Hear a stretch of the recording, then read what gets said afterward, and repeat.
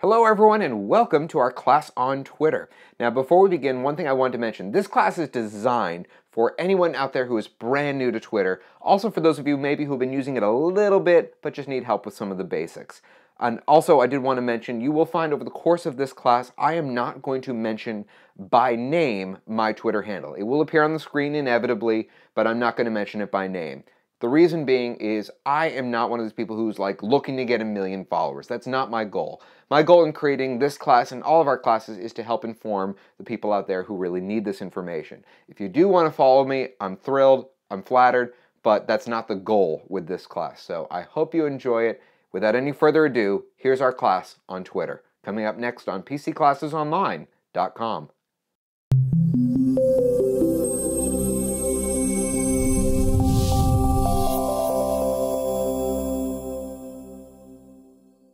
The first step in creating a new Twitter profile is to go to twitter.com and you'll have to fill out this little form here. Just put in your name, email address, and password.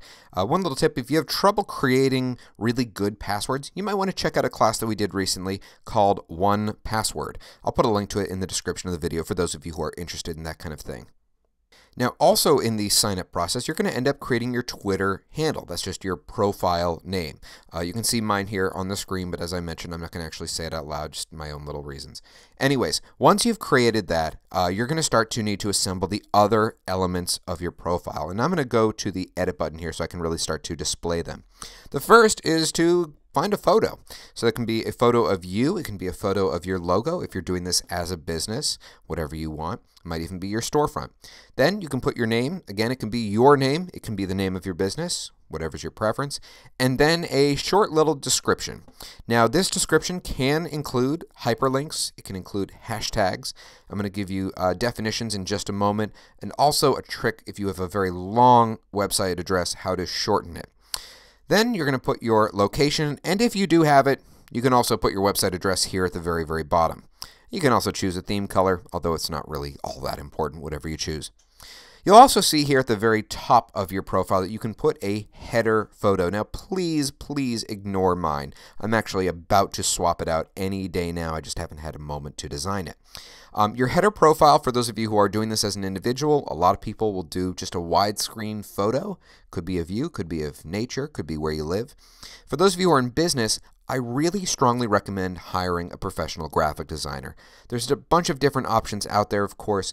One really inexpensive option, not necessarily the highest quality, but it is inexpensive, I'd like to at least mention, is there is a website out there called Fiverr.com, F I V E R It's a little website where you can pay people $5 to do a gig for you. I've used them occasionally uh, for things like this, so you might want to check them out. When you go to their website, just search for the word Twitter. You'll find a million people who are willing to design your Twitter header.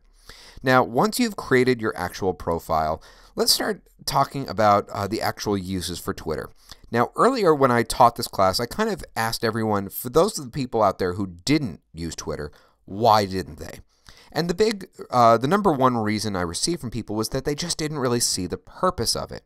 And my argument has always been you have to craft your purpose. And then you have to make what you put out there and who you follow match that purpose. So, the top uses for Twitter are number one, news. And it can be news on a local, national, or international scale. Whatever it is that interests you, that's what you should go for. One of the best examples I loved uh, during our live class was a gentleman who said he has a kid uh, who you know attends school and he wants to find out when school's closed, whether due to weather or whatever reason it may be. So the school will tweet out if school is closed. It's certainly a lot easier than having to watch the news and watch that little ticker go across the bottom of the screen. By the way, for those of you out there who are parents and are interested in doing that, I will give you an extra little trick about that in a little bit. Second reason, comic relief. Uh, over the course of this, you are going to end up seeing who I follow. And uh, one of the things you may pick up on is, yeah, I follow quite a few comedians. I love Jimmy Fallon, love Chris Hardwick, people like that, Dana Gould, um, and people who just make me laugh. I like to fill my life with laughter, with people who are kind of, you know, just happy, positive people. Um, so I tend to follow a good amount of comedians. So for that little joke here and there, that's one of the reasons why I do it. Next is for trending topics. This is useful for some people in business, depending on what it is you do. On a lot of the different screens that you'll see on Twitter, for example, even if I just go to the home page, you'll see here at the top left corner, there are trending topics, okay? A lot of these trending topics are either there because of news stories that are taking place uh, or have taken place. Um, also, celebrities. They'll tweet out different hashtags, topics, and that will trigger a trending topic. So it's a good way to stay informed of what's going on, both in real news and in pop culture, that kind of thing, too. The next is for sales leads as well as customer leads. Uh, using Twitter for business is definitely something that has grown over the years, and one of the best ways to do that is to use Twitter ads. I think we're going to probably end up doing a separate class on Twitter for business, but you can use that. If you're a business, a small business, um, I would like to give you right now one of the greatest little simple, simple tricks for businesses and this is really for people who those of you who have a brick and mortar store okay? So you have a place where people come into. Everyone knows it's a good idea to put a poster up and say hey tweet us on you know to follow us on twitter. But you have to give them a motivation and sometimes you also have to give them an easier way to do it. I'm going to give you a special little hyperlink in the description of this video to something I think is pretty cool. It's a special kind of sticker that can go in any business, and the sticker has embedded within it an NFC chip. What that means is for people who have a smartphone, especially a lot of the newer smartphones, they can actually hold their phone right up to the sticker and that will automatically make them like you on Twitter. Same thing applies, by the way, to Facebook. So I'll have links to both of those in the description of the video. That's just one of the little tricks I wanted to give you today. I was going to give it at the very end of the class, but hey, you made it this far. I might as well reward you right off the bat. So that's uh, one little reason business. Keep engaged with your customers. Another trick I would like to give you is that the key to a successful tweet is one that is engaging. Think dialogue, not monologue. Not to say that it's not occasionally okay, but if you're trying to do this, again, for business, you want to engage with your followers. Next thing uh, is for local news. Okay, sometimes there's going to be, you know, what do we do tonight? Where do we go out for dinner? Well, actually, if you look right here, this is a little local uh, market where I live. You know, they're tweeting out their specials. Okay, the one little thing I would say these guys could have probably done better. It's a great idea to include a photo because photos, let's face it, photos make it pop. Uh, next reason is customer service. There's a million stories out there on Twitter about people who use Twitter for customer service purposes. My piece of advice to you is be appropriate, especially if you're the one who's maybe not the happiest customer. Uh, an example I'll give you uh, is my colleague, Mark Collier, who does all of our website design. He's about to teach a ton of classes on WordPress with PC Classes Online. Uh, Mark was tweeting one day about uh, this app called Flipboard and their, at the time, competitor. And he was talking about why he liked the competitor better than Flipboard. Well, the Flipboard CEO saw that tweet and started private messaging with Mark, asking him what they could do better to make him kind of start using their service. So Mark's a smart guy. He gave them a bunch of advice. A couple weeks go by they actually took it to heart. They included those suggestions and updated Flipboard. So now I can say that my employee is actually part of the success of Flipboard in some strange way. So that's an example. Also, a great example of using Twitter for customer service is when you're having airline trouble. I myself was stranded in Houston, Texas recently. Started tweeting with JetBlue. Within two minutes, they responded to me. They can make it a lot easier. And um, just to give you another little tip, if you're on a flight and you're landing and your connection is really, really tight, if you tweet the airline, they will sometimes hold the flight if they know that you're maybe just running five or 10 minutes late. Really good piece of advice. I recommend using that one. Uh, next thing is for sale specials. Kind of already mentioned it all. Uh, I didn't mean to, but if you are a business, you have a special. Uh, the example I like to give is if you're a bakery, okay? If you have a bunch of product that's about to go bad, let's get rid of it so that we don't have to, you know, just throw it out. They'll send a tweet out to their followers, say, hey, come in the next half an hour and get 40% off all of this product. And it's a great way to easily advertise that special. And it's not like it costs you anything to do that. Now let's go over some definitions. Now some of these, I apologize, I my I apologize, are really really basic. A tweet. A tweet is a message. It's a public message that you put out there to the world. You can do it by going to the home screen of Twitter. You have 140 characters to compose this message. Included in that, you can have hyperlinks. Again, I will give you a trick to shorten them in a little bit. Photos, that will also shorten the number of available characters. Uh, and hashtags, which brings me to the next definition hashtags. Uh, an example of a hashtag uh, might be, you know, today, uh, later on this evening is the Oscars. Okay, so I could say, you know, rooting for, you know, Bradley Lee Cooper. I hope I'm spelling his name right.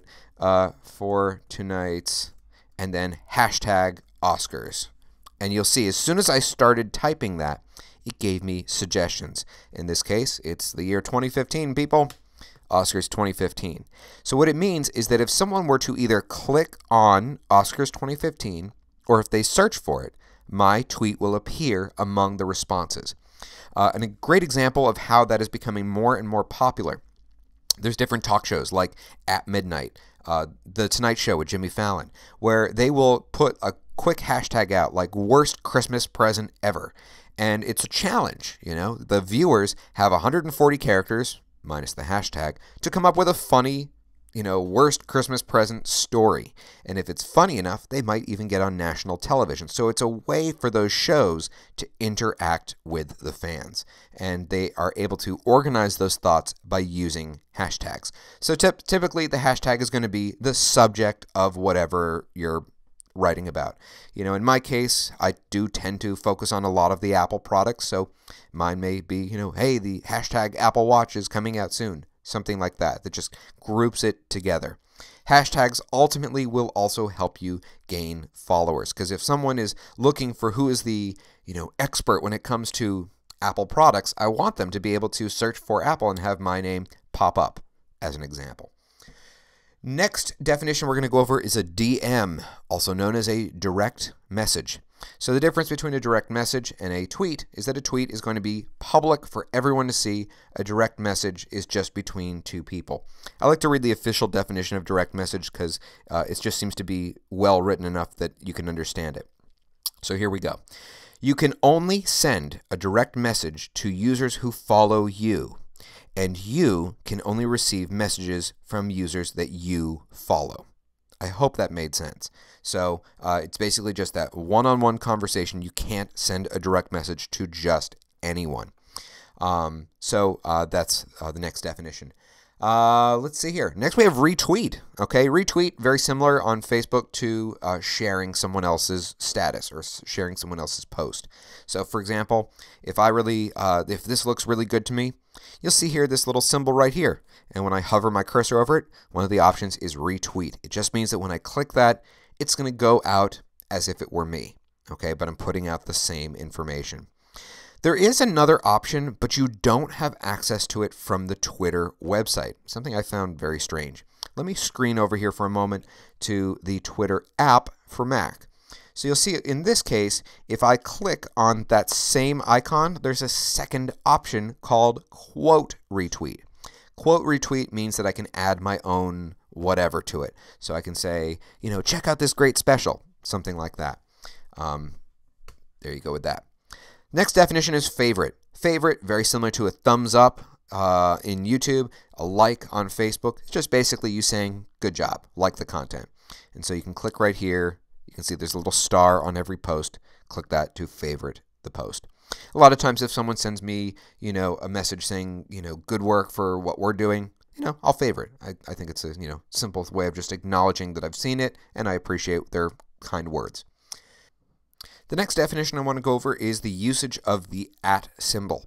So when you're composing a tweet, sometimes you want to bring it towards someone's attention. Like let's say I'm tweeting about what else, Apple, and I say, can't wait for details on the upcoming hashtag Apple car, which they've rumored to be uh, releasing in 2020. And I want to bring it to Tim Cook's attention. Okay, well, Tim doesn't know me. He probably will never ever see this, but you never know. So what I would do is I would at this point add the at symbol. And because I already follow Tim, it's going to come up right away. But when I hit T, I, M, you can see is the third option there. So when you add the at symbol and start to put in someone's name, it just basically means that they're going to be notified of it up here where it says notifications. Uh, in the case of a celebrity, the odds of them actually seeing it are fairly slim, but I'm actually friends with a couple celebrities, and some of them do actually read quite a few of those comments. And even though they don't respond to a lot of them, they do actually see them. So that's one way to tag someone in a post. That is the way to tag someone in a post. Uh, next thing we're going to start to do, talk about is navigation of Twitter. Now, right now, I'm showing you it from the Twitter website. A lot of people, when they use Twitter, they'll use the various apps. I myself, uh, I actually really enjoy the basic Twitter app for iPhone. Um, I don't use anything really special. I started kind of experimenting a little bit with a new one called Twitterrific. Um, haven't really formed much of an opinion about it yet just because I haven't used it a lot. Um, but the navigation of the website is pretty darn simple. So obviously up here at the top left we have the homepage and that gets you to your main Twitter feed. Next, we have notifications, and this includes things like people who have favorited your tweets, people who have tagged you in messages, people who have favorited, I'm sorry, people who have followed you recently, uh, etc. So you'll find out those little notifications, sort of like the globe icon on Facebook. Next, we have messages. These are just private, direct messages that I've received from people. I forgot to clear this one apparently. It's someone who was asking me about iOS 8 and if it would slow down his phone. I said, nope, shouldn't slow it down. At least it didn't for me. So that's where you go for your private messages. Uh, recently, they also introduced now you can do group private messaging. That's a new feature that just came out recently. And then we have the Discover button up here. And this is kind of where you can go to find out what's trending, find out who maybe you should follow, okay? And you'll find all those categories up here. So I can go to, for example, popular accounts. It'll show me people who are popular in music, you know, kind of all the regulars you'd expect. Katy Perry, Lady Gaga, Rihanna, all those people there. Sports figures, people who are big in photography, etc. There's a whole bunch of different categories as you can see right here. Um, Finding friends. This part, I have to just be totally honest with you, is really disappointing for me. There is no way, for those of you who use Facebook, there is no way to simply import your friends from Facebook to Twitter. That is to say, tell Twitter who of my who of my friends who are already on Facebook are also on Twitter. Other services do that; they don't. Um, the way that you can get around it uh, is by using either Gmail or Yahoo. Both of those services have a method so that you can import into them your contacts from Facebook. And then once you've done that, you can import your Yahoo contacts to Twitter. It's really roundabout. It's it's not fun by any means. Who knows? Maybe we'll do a class on it. I just I it's anything but intuitive. Uh, who to follow, okay? It just kind of looks at who you're already following, uh, and it just kind of makes suggestions for who you might want to follow. Like I said, I tend to follow comedians, entrepreneurs, leaders, uh, people in technology, that kind of thing. That's why it's throwing out those suggestions right there. And also, you have access to activities. So this is, for example, people who I follow. You know what they're doing. You know, so we already mentioned Chris Hardwick. He favorited someone else's tweet. Okay, whatever that may be. Uh, next, I want to go over some of the settings. These are really important. I'm going to have to blur out part of the screen. I apologize, just for my own privacy reasons. But if you go here to the very top right corner of Twitter, you click on your profile photo, you go here into settings, okay? Now, the main thing I want to talk about right here is security and privacy. And again, sorry, I have to blur out part of the screen because I don't want all of my information out there. So here are the different things that I kind of recommend to people. First one, under privacy, okay, this bottom section here, photo tagging. This can help prevent a PR nightmare. My recommendation is to do either the middle option, eh, probably, yeah, the middle option. Only allow people that you follow to tag you in photos, okay? You don't want one of those celebrity oopsie moments to happen to you. Uh, also, if I scroll down here, you'll see a few others. Uh, tweet location. This is important for your own privacy reasons. Um, my recommendation is to uncheck this option. By default, this is checked. And what that means is that when you send out a tweet, it's going to actually put your location. Where that's important is if you're not at home, if someone, God forbid, was going to burglarize you, they know you're not home. So my advice is to uncheck this option and also delete all previous location information. I want to give you another reference here at this point. It goes slightly off topic, so I'll be quick. For those of you who have concerns about your privacy, I have a blog post that I put together recently all about privacy and what tools I recommend for the average person. It's pretty easy to follow. There will be a link in the description of the video. I hope you'll check it out. Next, here, if you go down to personalization, this option by default is checked. My advice is to uncheck it. Same goes for promoted content, okay? It just means that basically when you see ads, I don't want them to be tracking what websites I go to to form, to tailor what ads I see, okay? And then uh, that's about it what I would like to do at this point, folks, is I would like to go through just a bunch of little tips and tricks. I want to try to keep this video as compact as possible. So here, in no particular order, are just a bunch of tips and tricks. First thing I would like to mention is the general composition of a tweet. Um, and specifically one thing to probably steer away from. You want to basically, when you're creating a tweet, you want to start with content. So put in whatever words you want at the beginning. At that point, you can put in a hashtag here and there maybe put in a hyperlink, put in an afterthought, and at the end of the tweet, if you're going to tag anyone, tag them at the end. Here's the reason why to do that.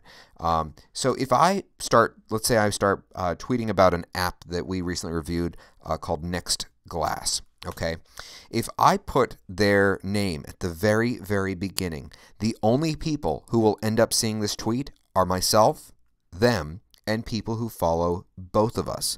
That's the reason why you typically never start a tweet with someone's profile name. So steer away from that. The next trick I would like to give you is for when you want to share a hyperlink. After all, when you go to a lot of different products or a YouTube video, the link is pretty long. You need to shorten it. There's a, tons of different services out there. Here's just simply who I use. I found them to be very friendly, very easy to use, and free. So I use a service called Bitly. You can create an account if you want or not. Um, and the way it works is when you have a link you want to shorten, you just copy and paste it right here, and they will give you a much shortened hyperlink that you can then copy and paste back into Twitter. So there's one that I created just a moment ago. So they click that little link and that goes to a much longer website URL. If you do decide to create a account with Bitly, one of the other nice things you gain access to is analytics. So you can see exactly how many people engaged with that link, how many people clicked on it. Uh, especially great for businesses, of course. The next trick I would like to give you is it's always a great idea to add an image to your tweets. And there's different ways you can do this. Of course, you can have a phone or an iPad, whatever it may be, and shoot a photo yourself. But sometimes you just need a quick little graphic. Now, I am not a lawyer. I am not giving you legal advice today. But one of the things that you can do for getting images is to go to simply images.google.com. When you go to that, you are searching Google just for images, nothing more. So if I need a quick image of a cupcake, boom, I got my cupcake image that I can throw into my tweet. For those of you out there who want to take this to a little bit of a further level, uh, I would like to just give a shout out to an app that I love. I use it all the time. For those of you who are on Apple products, there's this great piece of software called Pixelmator. It won App of the Year a couple years back. It's pretty easy to use. It's very similar to Photoshop Elements. In my own opinion, I just find it to be slightly friendlier than Photoshop Elements. We have classes on it. I'll put links to the class and the product in the description of the video. The next piece of advice I would like to give you, you can actually see here that I take to heart myself. When someone follows you, it can be very tempting to show your thanks by following them back. A lot of people tend to regret doing that. If you look at mine here, you'll see I only follow a little bit over 100 people. If you start to follow back every single person who follows you, I feel that you may discover that that Twitter experience is a little bit tarnished because now you're not just seeing the people you care about. Really try to focus on that. Just follow the people who you actually care what they have to say. And that's not by any means, that is not me telling you to follow me. I only want people to follow me who have an interest in what I'm talking about. So, whatever your passion is, you should go after following people who share that passion.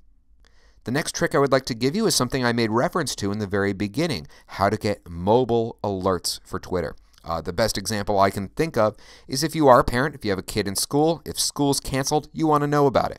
Here's how you do it. First thing you have to do is you have to tweak your settings. So go back to settings by clicking on your little profile image and go into settings. From here, you're going to click on the second, I'm sorry, the mobile option, which is about midway down. And we're going to scroll down just a little bit here. Forgive me, I'm going to have to blur out part of the screen here. And you'll see here that the text notifications, I recommend checking this option right here. Okay, so you can get text message alerts on your phone for really anything with Twitter. Uh, the problem is you don't want to get too many because obviously messaging rates apply, and you don't want to be spammed to death either. For those of you who uh, do have, you know, you do have kids in school, my recommendation is talk to the school and ask them if they have a dedicated Twitter account just for school cancellations, delays, and major announcements like that. Once they do have that, check this option. So then when you give Twitter your phone number, they will send you a text message alert only when this account tweets out. And I need to show you how to now set that up. Uh, so I don't have kids, so I'm going to show you a different example here. I'm going to use these guys right here, the Awesomer, for those of you who are tech gadget freaks. Um, this, this is one of the best blogs on the internet, in my own opinion. You click on their profile, so it pops up like this. See that little gear icon? One of the options is turn on mobile notifications. So if I were to do this, anytime they tweet, it goes right to my cell phone. I get that push message alert. You may have also noticed that on the previous screen, there's also a way to make the account silence itself if it's between certain hours. Obviously, you don't want to get a text message if it's 3 in the morning, but, you know, if it's 1 in the afternoon and they're going to have to let out school early, you know, you're going to want to know about that. For those of you who are in business, I would like to give you a couple quick pieces of advice. Uh, first is that you can track your analytics on Twitter by simply going to the website analytics.twitter.com. And this will just show you basically how you did. How many impressions did you make? How many engagements did you make? And your engagement rate as a percentage. Now, I uh, have, I believe, already mentioned it earlier in this class. Maybe I didn't. Um, I am not a Twitter freak. I, I just kind of tweet because I like sharing fun information. Uh, I'm not Kim Kardashian. I'm not Kanye West. Um, I'm not going after a million followers. So you can see my numbers here are pretty pathetic. But uh, compared to other celebrities out there, other businesses who do this a lot more than I do, you know, you obviously want to try to hit as high a number as possible. The impression number, not quite so important. The engagement number is, and especially, of course, as a percentage. This is just good information for letting you know what you're doing right, what you're doing wrong, and what you can do better. So use that information to your advantage. The other thing you can do is you can take out an ad on Twitter. Similar, you just go to ads.twitter.com. It works similarly to the way that Facebook does, that's, what's really nice, though, about Twitter is the ability to really target location information. Let me give you an example. My favorite business plan for working with Twitter are food trucks. Food trucks that are, for example, in New York City. They're constantly moving from neighborhood to neighborhood. They can create a targeted ad that hits a very specific geographic area saying, hey guys, come get your, you know, gourmet taco at, when we're at this corner and this corner and it's a great way to get the information out for a fairly inexpensive cost. So if you want to create a Twitter ad, I think we're going to probably do a devoted video to creating Twitter ads uh, in the near future, but uh, we're not going to really go over it much today. Well, folks, that does it for me for today. I wish you very happy tweeting. This is David A. Cox with PCClassesOnline.com. If you enjoyed this class, leave us a comment below. If you're watching us on YouTube, of course, we really do appreciate it if you click that little like button. And be sure to check out our website at PCClassesOnline.com. That's all for me, everyone. Class dismissed.